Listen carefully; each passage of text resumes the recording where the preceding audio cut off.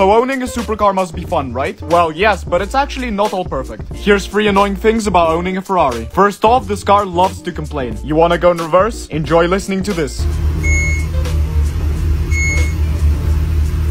Even though this is not a hybrid, you still have to charge it every time you're not driving. Or else the car just won't start. Turn signals are on the opposite side of the wheel. Unlike in other cars where it's a simple stalk, obviously they have to be buttons. So is the car still worth it? Hell yeah, take a listen to this.